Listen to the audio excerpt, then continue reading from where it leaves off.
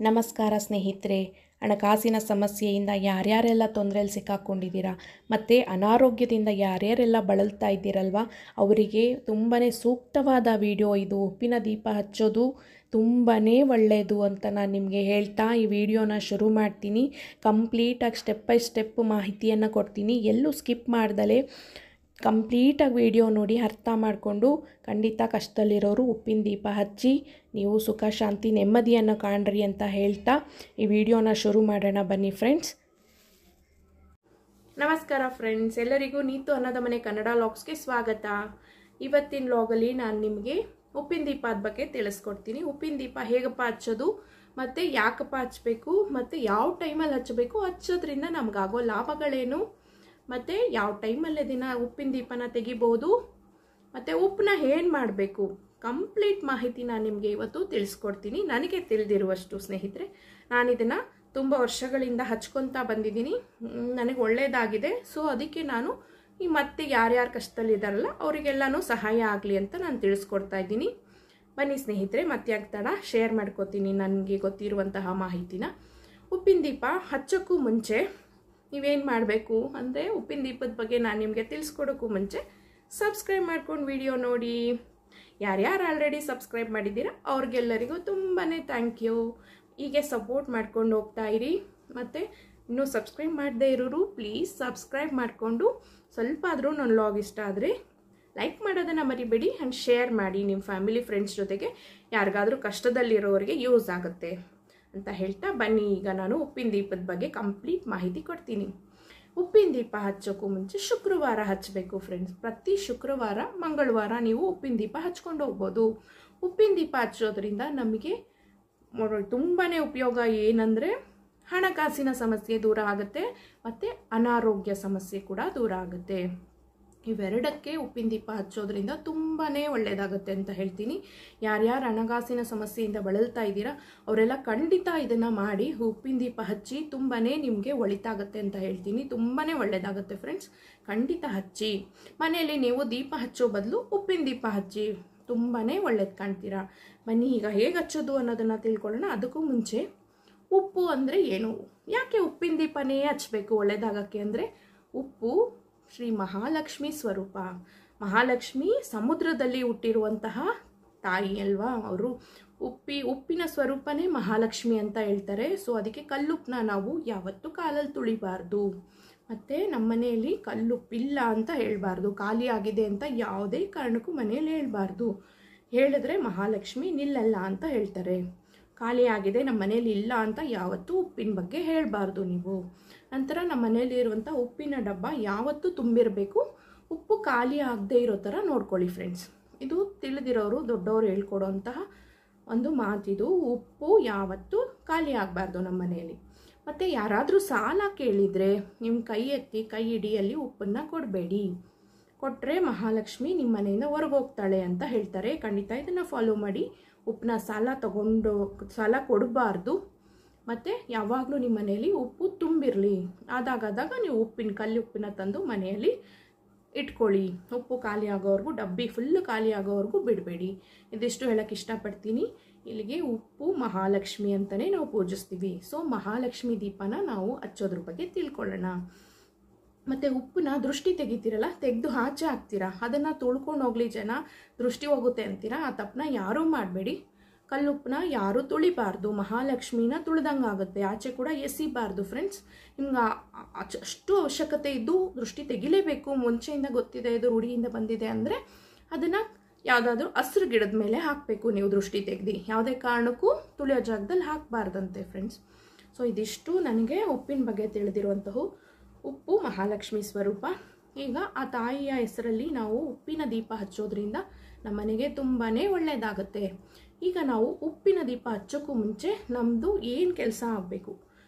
ಬರೀ ಹಣಕಾಸಿಗೆ ಅನಾರೋಗ್ಯಕ್ಕೆ ಅಲ್ಲ, ನೀವು ಯಾವುದೇ ಕೆಲಸ ಮೇಯ್ನಾಗಿ ನಾವು ಹಚ್ಚೋದು ಹಣಕಾಸಿಗೆ ಸಮಸ್ಯೆಗೆ ಮತ್ತು ದಾರಿದ್ರ್ಯ ನಿವಾರಣೆಗೆ ಮತ್ತು ಅನಾರೋಗ್ಯ ಸಮಸ್ಯೆಗೆ ಇದನ್ನು ಹೆಚ್ಚಾಗಿ ದೀಪ ಹಚ್ತಾರೆ.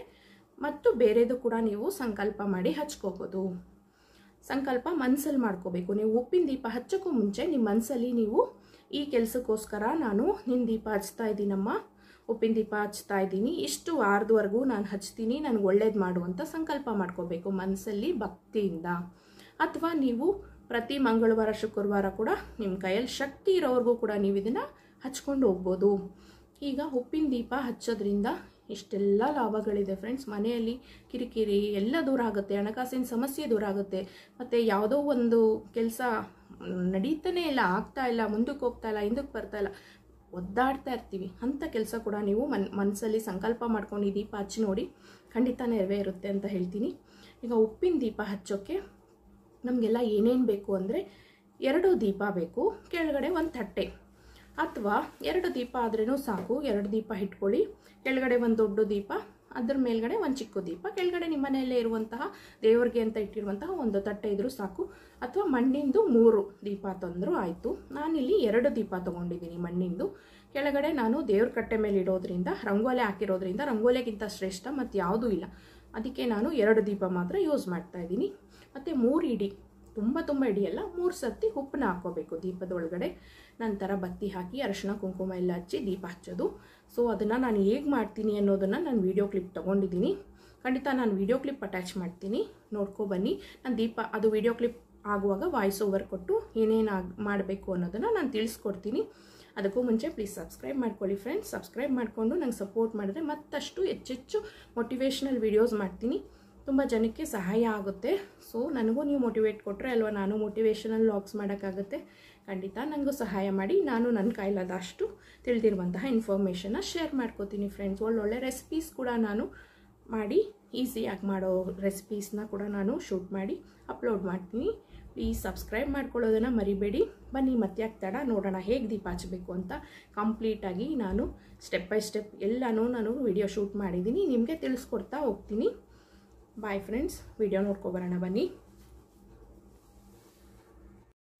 ಈಗ ನೋಡಿ. ಕಟ್ಟೆ ಮೇಲೆ ನಾನು ಲಕ್ಷ್ಮಿ ಫೋಟೋದ ಮುಂದೆ ಶುದ್ಧಿ ಮಾಡಿಕೊಂಡು, ಒರೆಸ್ಕೊಂಡು ನೀಟಾಗಿ ಅಲ್ಲಿ ರಂಗೋಲೆ ಬಿಟ್ಕೋತಾ ಇದ್ದೀನಿ.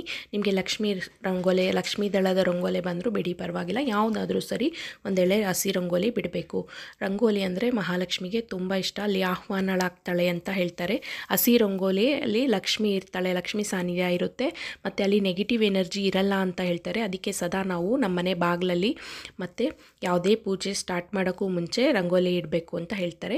ಈ ರಂಗೋಲಿಯಲ್ಲಿ ಮಹಾಲಕ್ಷ್ಮಿ ಆಹ್ವಾನ ಆಗ್ತಾಳೆ ಅಂತ ಕೂಡ ಹೇಳ್ತಾರೆ. ನೋಡಿ ಫ್ರೆಂಡ್ಸ್ ನೀವು ಒಂದು ಕಪ್ಪಲ್ಲಿ ಉಪ್ಪಿಟ್ಬಿಟ್ಟು ಒಂದು ಐದು ರೂಪಾಯಿ ಏನಾದರೂ ಸರಿ, ಒಂದು ರೂಪಾಯಿ ಅಥವಾ ಐದು ರೂಪಾಯಿನ ಉಪ್ಪ, ಉಪ್ಪಿನ ಬಟ್ಲಲ್ಲಿ ಅಥವಾ ಡಬ್ಬದಲ್ಲಿ ಹಾಕಿ ಲಕ್ ದೇವ್ರ ಮನೇಲಿ ಇಡಿ, ಬಲಭಾಗದಲ್ಲಿ ಎಲ್ಲಾದರೂ ಸರಿ ಒಂದು ಡಬ್ಬಿಯಲ್ಲಿ ಹಾಕಿ ಇಟ್ಬಿಡಿ ಲಕ್ಷ್ಮೀ ಸಾನ್ನಿಧ್ಯ ಸದಾ ನಿಮ್ಮ ಮನೇಲಿ ಇರುತ್ತೆ ಅಂತ ಹೇಳಕ್ಕೆ ಇಷ್ಟಪಡ್ತೀನಿ. ಈಗ ರಂಗೋಲಿಗೆ ಅರಿಶಿನ ಕುಂಕುಮದಿಂದ ಅಲಂಕಾರ ಮಾಡ್ಕೊಳ್ಳೋಣ ಬನ್ನಿ. ಎಲ್ಲ ಹಂಚಿಗೂ ಅರಿಶಿನ ಕುಂಕುಮ ಇಟ್ಕೊಂಡು ಅಲಂಕಾರ ಮಾಡ್ಕೋತಾ ಇದ್ದೀನಿ. ಈ ನಾವು ದೀಪವನ್ನು, ಉಪ್ಪಿನ ದೀಪವನ್ನು ಫ್ರೆಂಡ್ಸ್ ನಾವು ರಾವುಗಾಲದಲ್ಲಿ ಹಚ್ಚಬೇಕು ಅಥವಾ ಬ್ರಾಹ್ಮಿ ಮುಹೂರ್ತದಲ್ಲಿ ಹಚ್ಚೋದ್ರಿಂದ ತುಂಬಾ ಒಳ್ಳೆಯದಾಗುತ್ತೆ ಬ್ರಾಹ್ಮಿ ಮುಹೂರ್ತದಲ್ಲಿ ಹಚ್ಚಬೇಕು ಹಚ್, ಅದು ನಾಲ್ಕೂವರೆ, ಬೆಳಗಿನ ಜಾವ ನಾಲ್ಕೂವರೆಯಿಂದ ಆರು ಗಂಟೆ, ಆರೂವರೆ ಒಳ- ಒಳಗಡೆ ಬ್ರಾಹ್ಮಿ ಮುಹೂರ್ತ ಆ ಮುಹೂರ್ತದಲ್ಲಿ ಹಚ್ಚಿದ್ರೆ ತುಂಬ ಒಳ್ಳೆಯದಾಗುತ್ತೆ ಬಟ್ ನಾವು ಹಾಗಲ್ಲ ಅನ್ನೋರು ಏನು ಮಾಡೋಕ್ಕಾಗಲ್ಲ. ಈ ರಾವುಗಾಲದಲ್ಲಿ ನೀವು ಹಚ್ಚಲೇಬೇಕು ರಾವುಗಾಲದಲ್ಲೇ ಹಚ್ಚಬೇಕು ಈ ಉಪ್ಪಿನ ದೀಪನ. ತುಂಬಾ ಒಳ್ಳೆಯದು ನೋಡಿ, ನಾನು ಇವಾಗ ರಾವ್ಗಾಲದಲ್ಲಿ ಈ ಪೂಜೆನ ಮಾಡ್ತಾ ಇರೋದು, ಉಪ್ಪಿನ ದೀಪದ ಪೂಜೆ. ಈಗ ಹನ್ನೊಂದುವರೆ ಆಗಿದೆ ಫ್ರೆಂಡ್ಸ್. ನಾನೀಗ ರಾವ್ಗಾಲದಲ್ಲಿ ದೀಪ ಹಚ್ಚಕ್ಕೆ ಎಲ್ಲ ತಯಾರಿ ಮಾಡಿಕೊಂಡಿದ್ದೆ. ಈಗ ನಾನು ದೀಪ ಹಚ್ಚಕ್ಕೆ ಶುರು ಮಾಡ್ತಾ ಇದ್ದೀನಿ. ಈಗ ರಂಗೋಲೆ ಆಗಿದೆ. ಅರ್ಶಿನ ಕುಂಕುಮದಿಂದ ಅಲಂಕಾರ ಮಾಡ್ಕೊಂಡಿದ್ದೀನಿ. ಒಂದು ಮೂರು ಥರ ಹೂವನ ಹಾಕಿದ್ದೀನಿ. ಈಗ ಬನ್ನಿ ನೋಡಿ, ಎರಡು ದೀಪನ ಅಂಗಡಿಯಿಂದ ತಗೊಬಂದಿದ್ದೀನಿ ಹೊಸ ದೀಪ. ಇದನ್ನು ಚೆನ್ನಾಗಿ ನೀರಲ್ಲಿ ತೊಳಿಬೇಕು. ಹಾಗೆ ಅಂಗಡಿಯಿಂದ ತಂದು ಹಚ್ಚಬಾರ್ದು ನೀರಲ್ಲಿ ತೊಳೆದು ಒಣಗಿಸಿಟ್ಟಿದ್ದೀನಿ ಈಗ ಇದಕ್ಕೆ ನಾವು ಅರಿಶಿನ ಲೇಪನ ಮಾಡಬೇಕು. ನೀರಲ್ಲಿ ಅರಿಶಿನ ಹಚ್ಕೊಂಡು ಕ್ಲೀನಾಗಿ ದೀಪದ ಸುತ್ತ ಮತ್ತು ಒಳಗಡೆ ಎಲ್ಲ ಅರಿಶಿನ ಹಚ್ಚೋಣ. ನೋಡಿ ಈ ರೀತಿ. ನಾನು ಕೆಳಗಡೆ ಒಂದು ದೊಡ್ಡ ದೀಪ ತೊಗೊಂಡಿದ್ದೀನಿ. ಮೇಲ್ಗಡೆ ಇಡೋಕ್ಕೆ ಚಿಕ್ಕ ದೀಪ ತೊಗೊಂಡಿದ್ದೀನಿ. ಇದ್ರ ಕೆಳಗಡೆ ಇಡೋಕ್ಕೆ ನೀವು ಬೇಕಿದ್ರೆ ಪ್ಲೇಟ್ ತೊಗೋಬೋದು. ನಾನು ರಂಗೋಲೆನೇ ಲಹ, ಮಹಾಲಕ್ಷ್ಮಿ, ಅಲ್ಲಿ ಏನೂ ನೆಗೆಟಿವ್ ಎನರ್ಜಿ ಇರಲ್ಲ. ಸೊ ಆದ ಕಾರಣ ನಾನು ರಂಗೋಲೆ ಮೇಲೆ ಇಡ್ತೀನಿ. ಪ್ಲೇಟ್ ಎಲ್ಲ ಏನೂ ಇಡ್ತಾ ಇಲ್ಲ. ಮತ್ತು ಪ್ಲೇಟ್ ಬೇಕು ಅಂದರೆ ನೀವು ಬೇಕಿದ್ರೆ ಲ, ದೇವ್ರಿಗೆ, ದೇವ್ರ ಮನೆಗೆ ಅಂತ ಇಟ್ಟಿರುವಂತಹ ಪ್ಲೇಟ್ ಕೂಡ ಇದ್ರ ಕೆಳಗಡೆ ಇಟ್ಕೋಬೋದು. ಒಟ್ಟಿನಲ್ಲಿ ಎರಡು ದೀಪ ಇರಬೇಕು ಫ್ರೆಂಡ್ಸ್ ಒಂದು ದೀಪದ ಕೆಳಗಡೆ ಮತ್ತು ಮೇಲ್ಗಡೆ ನಾವು ದೀಪ ಹಚ್ಚೋದು. ಎರಡು ದೀಪ ಕಂಪಲ್ಸರಿ ಇರಬೇಕು. ಒಂದೇ ದೀಪ ಹಚ್ಚಬಾರ್ದು ಅಂತ.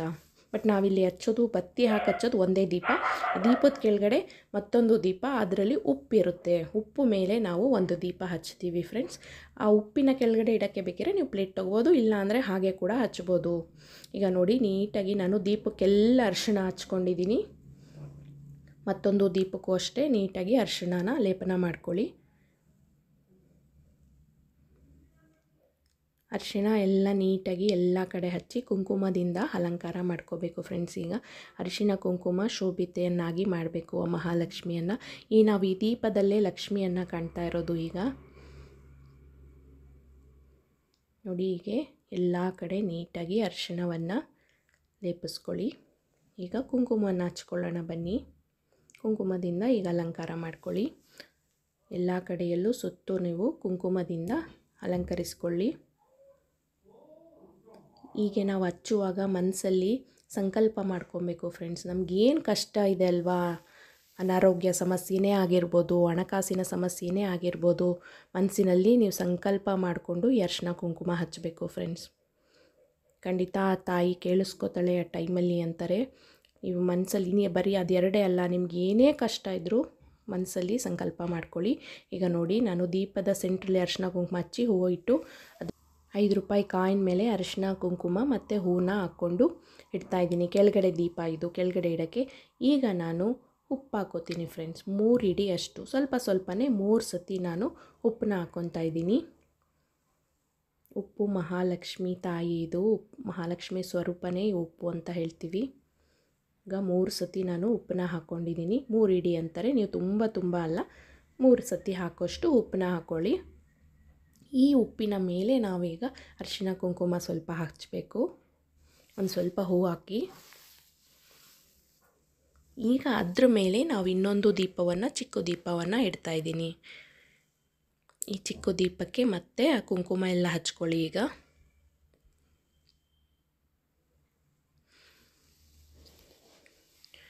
ಇದನ್ನು ನಾವು ರಾವ್ಗಾಲದಲ್ಲಿ ಹಚ್ಚಬೇಕು ಫ್ರೆಂಡ್ಸ್ ನೀವು ದೀಪ ಹಚ್ಚೋರು ಶುಕ್ರವಾರ, ಮಂಗಳವಾರ ಹಚ್ಕೊಳ್ಳಿ. ಮನಸ್ಸಿನಲ್ಲಿ ಇಷ್ಟು ವಾರ ನಾನು ಪೂಜೆ ಮಾಡ್ತೀನಿ. ನನಗೆ ಇಷ್ಟು ವಾರದಲ್ಲಿ ಒಳ್ಳೇದು ಮಾಡಮ್ಮ ಅಂತ ಕೇಳಿಕೊಂಡು ಮಾಡ್ಕೊಳ್ಳಿ. ಇಷ್ಟು ವಾರದಲ್ಲಿ ಖಂಡಿತ ನಿಮಗೆ ಸಮಸ್ಯೆ ಬಗೆಹರಿಯುತ್ತೆ. ಮತ್ತು ನೀವು ಶಕ್ತಿ ಇರೋರು ಸದಾ ಮಾಡ್ಕೊಂಡು ಕೂಡ ಹೋಗ್ಬೋದು. ಸದಾ ಮಂಗಳವಾರ ಮತ್ತು ಶುಕ್ರವಾರ ಮಾಡೋದ್ರಿಂದ ಮನೆಯಲ್ಲಿ ಸದಾ ಒಳ್ಳೆಯದಾಗುತ್ತೆ ಏನಾದರೂ ಅನಾಹುತಗಳಾಗೋದನ್ನೆಲ್ಲ ತಡ್ಕೊಂಡು ಹೋಗುತ್ತೆ. ಮತ್ತು ಚೆನ್ನಾಗಿ ಅಭಿವೃದ್ಧಿ ಕಾಣ್ತೀರಾ ಅಂತ ಹೇಳ್ತೀನಿ. ಆಗದೆ ಇರೋರು ಇಷ್ಟು ವಾರ ಅಂತ ಹರಿಸ್ಕೊಂಡು ಮನಸ್ಸಲ್ಲಿ ಸಂಕಲ್ಪ ಮಾಡಿಕೊಂಡು ಈಗ ದೀಪವನ್ನು ರಂಗೋಲಿ ಮೇಲೆ ಸ್ಥಾಪಿಸ್ರಿ. ಸ್ಥಾಪಿಸಬೇಕು. ಈಗ ನೋಡಿ ನಾನು ರಂಗೋಲಿ ಮೇಲೆ ದೀಪನ ಸ್ಥಾಪಿಸ್ತಾ ಇದ್ದೀನಿ. ಸ್ಥಾಪನೆ ಮಾಡ್ತಾ ಇದ್ದೀನಿ. ನೀವು ಉತ್ತರಾಭಿಮುಖವಾಗಿ ಕೂಡ ದೀಪವನ್ನು ಇಡ್ಬೋದು. ನಾನಿಲ್ಲಿ ಅಮ್ಮನಿಗೆ ಎದುರಾಗಿ ಇಡ್ತಾ ಇದ್ದೀನಿ. ಅಮ್ಮನ ಅಮ್ಮನ ಅಪೋಸಿಟ್ಟಾಗಿ ನಾನು ಕೆಳಗಡೆ ಕೂರಿಸಿದ್ದೀನಿ. ಈ ಕಡೆ ನನಗೆ ದೇವರು, ಅಂದರೆ ಮನೇಲಿ ಡೈಲಿ ಪೂಜೆ ಮಾಡ್ತೀವಲ್ಲ, ಆ ದೇವ್ರು ಇರೋ ಕಾರಣ ನಾನು ಈ ಕಡೆ ತಿರ್ಗ್ಸೋಕ್ಕಾಗಲ್ಲ. ಸೊ ಜಾಗ ಸ್ವಲ್ಪ ಇರೋದ್ರಿಂದ ಪರವಾಗಿಲ್ಲ ಸ್ನೇಹಿತರೆ, ನಿಮಗೆ ಉತ್ತರಾಭಿಮುಖವಾಗಿ ಬೇಕಾದ್ರೆ ಇಟ್ಕೊಳ್ಳಿ, ಇಲ್ಲಾಂದರೆ ಹೀಗೆ ಕೂಡ ಇಡ್ಬೋದು. ಈ ಇದೇ ದಿಕ್ಕಲ್ಲಿ ಇಡಬೇಕು ಅಂತ ಏನೂ ಇಲ್ಲ. ನಾನು ಅಮ್ಮನಿಗೆ ಮುಂದೆಗಡೆ ಇಟ್ಟಿದ್ದೀನಿ. ಈಗ ಬನ್, ಬನ್ನಿ ದಿಕ್ಕೆ ಬತ್ತಿ ಹಾಕ್ಕೊಳ್ಳೋಣ ನಾನು ಬತ್ತಿನ ಐದು ಎಳೆ ತೊಗೊಂಡಿದ್ದೀನಿ ಫ್ರೆಂಡ್ಸ್. ಐದು ಎಳೆ ಬತ್ತಿ ಹಾಕ್ತಾಯಿದ್ದೀನಿ ಐದು, ಏಳು, ಒಂಬತ್ತು ಈ ಥರ ನೀವು, ಅಥವಾ ಎರಡು. ಇಷ್ಟು ಎಳೆಗಳನ್ನ ಹಾಕ್ಕೊಂಡು ನಿಮಗೆ ಹೇಗೆ ಅನುಕೂಲ ಆಗುತ್ತೋ ಹಾಗೆ ಬತ್ತಿ ಹಾಕ್ಕೊಂಡು ದೀಪ ಹಚ್ಕೋಬೋದು. ಮತ್ತು ಇದನ್ನು ರಾವ್ಗಾಲದಲ್ಲಿ ಹಚ್ಚಿ ನಂತರ ಎಲ್ಲ ದೀಪ ಹಚ್ಚಿ ಕೊನೆಗೆ ಉಪ್ಪನ್ನ ಏನು ಮಾಡಬೇಕು ಅಂದರೆ ಎಲ್ಲೂ ತುಳಿದೇರೆ ಅಂತ ಜಾಗದಲ್ಲಿ ನೀವು ಉಪ್ಪನ್ನ ಹಾಕಬೇಕಾಗುತ್ತೆ. ಮತ್ತು ಅಥವಾ ನೀವು ಇದನ್ನು ಹಸಿರು ಗಿಡ ಇರುತ್ತಲ್ಲ, ಹಸಿರು ಗಿಡದ ಮೇಲ್ಗಡೆ ಇವತ್ತು ಫುಲ್ಲು ಶುಕ್ರವಾರ ದೀಪ ಹಚ್ಚಬೇಕು. ನಂತರ ಬೆಳಿಗ್ಗೆ ಯಾರು ನೋಡದೇ ಇರೋ ಟೈಮಲ್ಲಿ ಬೆಳಗ್ಗೆನೇ ಎದ್ದು ಹಸಿರು ಗಿಡಕ್ಕೆ ಹಾಕಬೇಕು ಅಂತ ಹೇಳ್ತಾರೆ. ಈಗ ನಾನು ನೋಡಿ ತುಪ್ಪ ಹಾಕ್ಕೊತಾ ಇದ್ದೀನಿ. ಮೂರು ಥರ ಎಣ್ಣೆ ಹಾಕ್ಕೊಳ್ಳಿ ಯಾವುದಾದ್ರೂ ಸರಿ. ನಾನು ಸ್ವಲ್ಪ ಕೊಬ್ಬರಿ ಎಣ್ಣೆ ಇದಕ್ಕೆ ಮಿಕ್ಸ್ ಮಾಡಿಟ್ಟಿರೋದ್ರಿಂದ ದೀಪದ ಎಣ್ಣೆ, ಕೊಬ್ಬರಿ ಎಣ್ಣೆ ಸ್ವಲ್ಪ ತುಪ್ಪ ಹಾಕ್ಕೊಂಡಿದ್ದೀನಿ ಮೂರು ಥರ ಎಣ್ಣೆ ಹಾಕಿ ದೀಪ ಹಚ್ತಾ ಇದ್ದೀನಿ. ಒಂದು ಥರ ಬೇಕಾದ್ರೂ ಹಾಕ್ಬೋದು ನೀವು, ಏನೂ ತೊಂದರೆ ಇಲ್ಲ. ಮೂರು ಥರ ದೀಪ ಹಾಕಿ ಎಣ್ಣೆ ಹಾಕೋದ್ರಿಂದ ಒಳ್ಳೆಯದು ಅಂತ ಹೇಳ್ತಾರೆ. ಸೊ ನಾನು ಅದಕ್ಕೋಸ್ಕರ ಇದನ್ನು ಫಾಲೋ ಮಾಡ್ತಾಯಿದ್ದೀನಿ ನೀವು ಬೇಕಿದ್ರೆ ಒಂದು ಥರನೂ ಎಣ್ಣೆ ಹಾಕ್ಕೊಬೋದು ಏನೂ ತೊಂದರೆ ಇಲ್ಲ ಫ್ರೆಂಡ್ಸ್ ಆ ಥರ ಮಾಡಿ. ಯಾರು ನೋಡೋಕ್ಕೂ ಮುಂಚೆ ಗಿಡದ ಮೇಲೆ ಹಾಕಬೇಕಂತೆ. ನಮ್ಮ ನೆಗೆಟಿವ್ ಎನರ್ಜಿ ಎಲ್ಲ ಹೋಗುತ್ತೆ ಅಂತ ಹೇಳ್ತಾರೆ. ಇಲ್ಲಾಂದರೆ ಸಿಂಕ್ ಒಳಗಡೆ ಕರಗಿಸಿ ಸಿಂಕ್ ಒಳಗಡೆ ಕೂಡ ಹಾಕ್ಬೋದು. ಬಟ್ ಯಾರು ತುಳಿದೇ ಇರೋಂತಹ ಜಾಗದಲ್ಲಿ ಮಾತ್ರ ನೀವು ಈ ಉಪ್ಪನ್ನು ಹಾಕಬೇಕು ಫ್ರೆಂಡ್ಸ್ ಈಗ ನೋಡಿ, ನಾನು ಹೂವಿಂದ ಅಲಂಕಾರ ಮಾಡ್ಕೋತಾ ಇದ್ದೀನಿ ದೀಪದ ಸುತ್ತ. ಅದಕ್ಕೂ ಮುಂಚೆ ಎಲೆ, ಅಡಿಕೆ, ತಾಂಬೂಲನ ಅಮ್ಮನ ಹತ್ರ ಇಟ್ಬಿಡಿ. ಮತ್ತು ಎರಡು ಬಾಳೆಹಣ್ಣು, ಏನು, ನೀವೇನು ನೈವೇದ್ಯಕ್ಕೆ ಇಡ್ತೀರಲ್ಲ, ಅದನ್ನು ಇಟ್ಟು ಕೂಡ ನೈವೇದ್ಯಕ್ಕೆ ಇಟ್ಬಿಡಿ. ಬರೀ ದೀಪ ಯಾವತ್ತೂ ಹಚ್ಚಬಾರ್ದು ಫ್ರೆಂಡ್ಸ್ ನೈವೇದ್ಯ ಕೊಟ್ಟು ಇಡಬೇಕು. ಈಗ ನೋಡಿ, ನಾನು ಕುಂಕುಮ ಲಕ್ಷ್ಮೀ ತಾಯಿಗೆ ಕೆಂಪು ಬಣ್ಣ ಅಂದರೆ ತುಂಬಾ ಇಷ್ಟ ಅಂತಾರೆ. ಸೊ ಅದಕ್ಕೆ ನಾನು ಕೆಂಪು ಹೂವು ಮತ್ತು ಅರಿಶಿಣದ ಹೂವು ಎರಡನ್ನೂ ಸೇರಿಸಿ ರೋಸು ಮತ್ತು ಶಾಮಂತಿಗೆಯಿಂದ ಅಲಂಕಾರ ಮಾಡ್ಕೊತಾ ಇದ್ದೀನಿ ಫ್ರೆಂಡ್ಸ್. ಕೆಂಪು ಬಣ್ಣದ ಹೂವು ಅಂದರೆ ಲಕ್ಷ್ಮೀ ದೇವಿಗೆ ತುಂಬ ಇಷ್ಟ ಅಂತ ಹೇಳ್ತಾರೆ ಫ್ರೆಂಡ್ಸ್. ಈಗ ನೋಡಿ ನಮ್ಮದು ಕಂಪ್ಲೀಟ್ ದೀಪ ತಯಾರಾಗಿದೆ. ಈಗ ಎರಡು ಬಾಳೆಹಣ್ಣು ಕೂಡ ನೈವೇದ್ಯಕ್ಕೆ ಇಡ್ತೀನಿ. ಸಿಹಿ ನೈವೇದ್ಯ ಕೂಡ ನೀವು ಮಾಡಿ ಇಡ್ಬೋದು. ಇಲ್ಲಾಂದರೆ ಏನೂ ತೊಂದರೆ ಇಲ್ಲ. ನಾನು ನಂತರ ಇಡ್ತೀನಿ. ಈಗ ದೀಪ ಹಚ್ಚೋಕ್ಕೆ ಟೈಮ್ ಆಗಿಬಿಡುತ್ತೆ ರಾವ್ಗಾಲ ಅಂತ. ನಾನು ರಾವ್ಗಾಲದಲ್ಲಿ ಫಸ್ಟು ದೀಪ ಹಚ್ಕೊಂಡು ಬಿಡ್ತೀನಿ ನಂತರ ಸಿಹಿ ನೈವೇದ್ಯ ಮಾಡಿ ನಾನು ನೈವೇದ್ಯ ಮಾಡ್ತೀನಿ. ಈಗ ಬರೀ ಬಾಳೆಹಣ್ಣಿಟ್ಟು ನೈವೇದ್ಯ ಮಾಡ್ತಾಯಿದ್ದೀನಿ ಫ್ರೆಂಡ್ಸ್ ಈಗ ನೋಡಿ ದೀಪ ಈ ಥರ ತಯಾರಾಗಿದೆ. ಈ ಥರ ನಾನೆಲ್ಲ ರೆಡಿ ಮಾಡ್ಕೊಂಡಿದ್ದೀನಿ.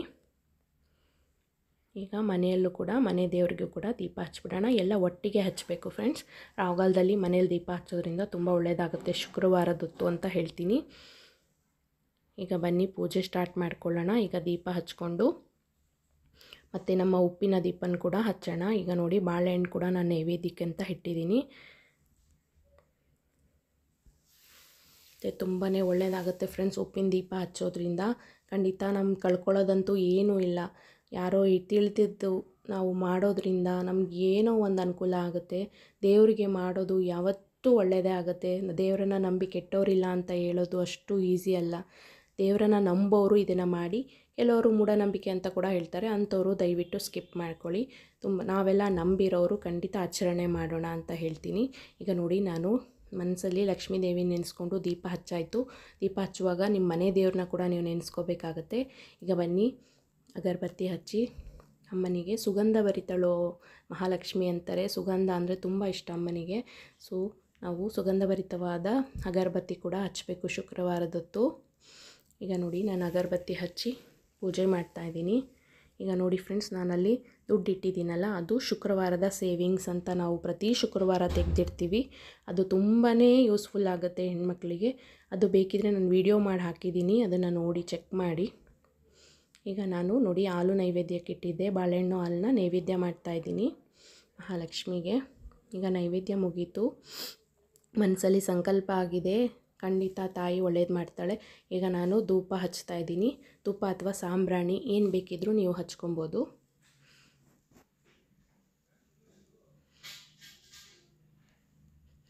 ಈಗ ಕೊನೆಗೆ ಮಹಾಮಂಗಳಾರತಿ ಮಾಡೋದು ಮಾತ್ರ ಮರಿಬಾರ್ದು ಫ್ರೆಂಡ್ಸ್ ಶುಕ್ರವಾರದೊತ್ತು ದೀಪ ಹಚ್ಚಿದ ಮೇಲೆ ಮಹಾಮಂಗಳಾರತಿ ಮಾಡಲೇಬೇಕು ಅಂತ ಹೇಳ್ತಾರೆ.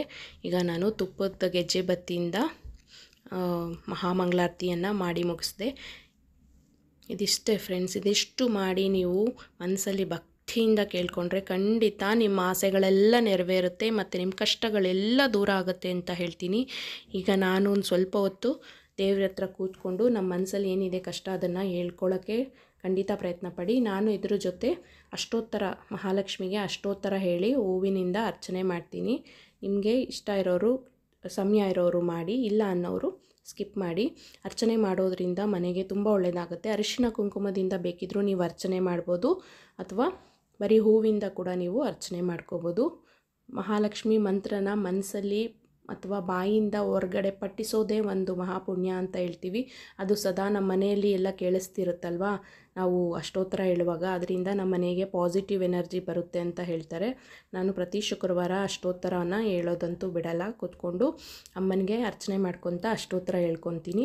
ಇದು ಎಲ್ಲರೂ ಮಾಡಲೇಬೇಕಂತ ಏನೂ ಇಲ್ಲ ಫ್ರೆಂಡ್ಸ್ ಅವ್ರವ್ರ ಭಕ್ತಿಗೆ ಬಿಟ್ಟಿದ್ದು ಇದು. ಈಗ ಅರ್ಚನೆ ಮಾಡಿಕೊಂಡು ನಾನು ಅಷ್ಟೋತ್ತರ ಅರ್ಚನೆ ಮಾಡಿ ನನಗೇನು ಬೇಕು ಅನ್ನೋದನ್ನು ನಾನು ಭಕ್ತಿಯಿಂದ ಅಮ್ಮನ ಹತ್ರ ಕೂತ್ಕೊಂಡು ಬೇಡ್ಕೊತೀನಿ. ತುಂಬಾ ಮನಸ್ಸಿಗೆ ನೆಮ್ಮದಿ ಅನಿಸುತ್ತೆ ಫ್ರೆಂಡ್ಸ್ ದೇವ್ರ ಹತ್ರ ಕೂತ್ಕೊಂಡು ಒಂದು ಐದು ನಿಮಿಷ ಬೇಡ್ಕೊಂಡು ನಮ್ಮ ಹತ್ರ ಇರೋ ಕಷ್ಟ ಎಲ್ಲ ಅವ್ರಿಗೆ ಹೇಳಿದ್ರೆ ತುಂಬಾ ಏನೋ ಒಂದು ಪಾಸಿಟಿವ್ ಎನರ್ಜಿ ಬರುತ್ತೆ ಅಂತಲೇ ಹೇಳ್ತೀನಿ ಫ್ರೆಂಡ್ಸ್ ನನಗೆ ತುಂಬಾ ಇಷ್ಟಪಟ್ಟು ನಾನು ಈ ದೀಪನ ಹಚ್ತೀನಿ. ಅಷ್ಟೇ ಇಷ್ಟಪಟ್ಟು ಅಮ್ಮ ಕೂಡ ನಮಗೆ ಕಷ್ಟಗಳನ್ನು ಪರಿಹಾರ ಮಾಡ್ತಾಳೆ ಅನ್ನೋದು ಇಲ್ಲಿ ನನ್ನ ನಂಬಿಕೆ ಆಗಿದೆ. ಯಾರ್ಯಾರೆಲ್ಲ ಮಾಡಬೇಕು ಅಂದ್ಕೊಂಡಿದ್ದೀರಾ ಮುಂದಿನ ಶುಕ್ರವಾರದಿಂದನೇ ಶುರು ಮಾಡಿ ತುಂಬ ಒಳ್ಳೆಯದಾಗುತ್ತೆ ಐದು ವಾರ, ಎಂಟು ವಾರ, ಒಂಬತ್ತು ವಾರ, ಹನ್ನೆರಡು ವಾರ, ಈ ಥರ ಎಷ್ಟು ವಾರ ಬೇಕಿದ್ದರೂ ನೀವು ಏನು ಅಂದ್ಕೊಂಡಿರ್ತೀವೋ ಮನಸ್ಸಲ್ಲಿ ಅದನ್ನು ಫಾಲೋ ಮಾಡ್ಕೊಂಡೋಗಿ ಇಲ್ಲ, ನಾನು ಜೀವನ ಪರ್ಯಂತ ಮಾಡ್ತೀವಿ, ನಮ್ಮ ಮನೆಗೆ ಸದಾ ಒಳ್ಳೆಯದಾಗ್ತಿರಬೇಕು ಅಂತಂದರೆ ಖಂಡಿತನೂ ಮಾಡ್ಬೋದು, ಏನೂ ತೊಂದರೆ ಇಲ್ಲ. ಈಗ ನಂದು ಸಂಪೂರ್ಣವಾಗಿ ದೀಪದ, ಉಪ್ಪಿನ ದೀಪ ಹಚ್ಚಿದ್ದು ಮತ್ತು ಪೂಜೆ, ಶುಕ್ರವಾರದ ಪೂಜೆ ಎಲ್ಲ ಮುಗಿದಿದೆ. ಈಗ ನಾನು ಅಮ್ಮನಿಗೆ ಸಾಷ್ಟಾಂಗ ನಮಸ್ಕಾರ ಮಾಡಿ. ಇಲ್ಲಿಗೆ ನಾನು ಪೂಜೆನ ಮುಗಿಸ್ತಾ ಇದ್ದೀನಿ ಫ್ರೆಂಡ್ಸ್. ಇಷ್ಟಾಗಿದೆ ನೋಡಿ ಉಪ್ಪಿನ ದೀಪದ ಪೂಜೆ. ಖಂಡಿತ ಎಲ್ಲರೂ ಫಾಲೋ ಮಾಡಿ. ತುಂಬಾ ಪವರ್ಫುಲ್ ಅಂತ ಹೇಳಕ್ಕೆ ಇಷ್ಟಪಡ್ತೀನಿ. ಖಂಡಿತ ಟ್ರೈ ಮಾಡಿ ನೋಡಿ. ಯಾರ್ಯಾರೆಲ್ಲ ಕಷ್ಟ ಇದೆಯೋ ಅವರೆಲ್ಲ ಖಂಡಿತ ಪರಿಹಾರ ಆಗುತ್ತೆ. ಸುಖದಿಂದ, ಶಾಂತಿಯಿಂದ, ನೆಮ್ಮದಿಯಿಂದ ಎಲ್ಲರೂ ಇರೋಣ ಅಂತ ಹೇಳ್ತಾ ಹೇಗಿದೆ ನಮ್ಮ ಮನೆಯ ಶುಕ್ರವಾರದ ಪೂಜೆ ಅಂತ ಖಂಡಿತ ಕಮೆಂಟ್ ಬಾಕ್ಸಲ್ಲಿ ತಿಳಿಸಿ. ಇಷ್ಟ ಆದರೆ ಖಂಡಿತ ಲೈಕ್ ಮಾಡಿ ಸ್ನೇಹಿತರೆ ಕಮೆಂಟ್ ಮಾಡಿ ಮತ್ತು ಸಬ್ಸ್ಕ್ರೈಬ್ ಮಾಡಿಕೊಂಡು ವಿಡಿಯೋ ನೋಡಿ. ನಾನು ಫಾಲೋ ಮಾಡ್ಕೊಂಡು ಹೋಗ್ತಾ ಇರೋಂತಹ ಪದ್ಧತಿ ಇದಿಷ್ಟ ಆಗಿದೆ. ಖಂಡಿತ ಒಳ್ಳೆಯದಾಗುತ್ತೆ ಕಷ್ಟದಲ್ಲಿರೋರಿಗೆ ತುಂಬಾ ಸಹಾಯ ಆಗುತ್ತೆ ಅಂತ ಹೇಳ್ತಾ ಈ ವಿಡಿಯೋನ ಇಲ್ಲಿಗೆ ಎಂಡ್ ಮಾಡಿ ಎಂಡ್ ಮಾಡ್ತಾ ಇದ್ದೀನಿ. ನಿಮಗೆ ಸ್ವಲ್ಪ ಆದರೂ ಸಹಾಯ ಆಗುತ್ತೆ ಅನಿಸಿದ್ರೆ ಇನ್ಫಾರ್ಮೇಟಿವ್ ಆಗಿದೆ ಅನಿಸಿದ್ರೆ ಲೈಕ್ ಮಾಡೋದನ್ನು ಮಡಿಬೇಡಿ. ಮತ್ತು ಕಮೆಂಟ್ ಮಾಡಿ ತಿಳಿಸಿ, ನಿಮ್ಗೆ ಏನಾದರೂ ಡೌಟ್ಸ್ ಇದೆ ಕಮೆಂಟ್ ಮಾಡಿ, ನಾನು ಖಂಡಿತ ರಿಪ್ಲೈ ಮಾಡ್ತೀನಿ. ಹಾಗೂ ಸ್ವಲ್ಪ ಆದರೂ ಇಷ್ಟ ಆದರೆ ಇನ್ಫಾರ್ಮೇಟಿವ್ ಅನಿಸಿದ್ರೆ, ಬೇರೆ ಯಾರಿಗಾದರೂ ಸಹಾಯ ಆಗುತ್ತೆ ಅನಿಸಿದ್ರೆ ಶೇರ್ ಮಾಡೋದನ್ನು ಮರಿಬೇಡಿ. ನಮಗೆ ತಿಳಿದಿರುವಂತಹ ಕೆಲವೊಂದು ಮಾಹಿತಿನ ತಿಳಿದೇ ಇರೋವಂಥವ್ರಿಗೆ ಶೇರ್ ಮಾಡೋದ್ರಿಂದ ನಮಗೆ ಮತ್ತಷ್ಟು ಒಳ್ಳೆಯದಾಗುತ್ತೆ ಕಷ್ಟದಲ್ಲಿರೋರಿಗೆ ತುಂಬಾ ಸಹಾಯ ಆಗುತ್ತೆ ಅಂತ ಹೇಳ್ತಾ thanks for watching my video bye bye take care ಮತ್ತೊಂದು ಒಳ್ಳೆ ವಿಡಿಯೋಂದಿಗೆ ನಾನು ನಿಮ್ಮ ಜೊತೆ ಬರ್ತೀನಿ. ಅಲ್ಲಿವರೆಗೂ ಎಲ್ಲರೂ ಖುಷಿ ಖುಷಿಯಾಗಿರಿ. ಆರಾಮಾಗಿರಿ. ಬಾಯ್ ಬಾಯ್ ಟೇಕ್ ಕೇರ್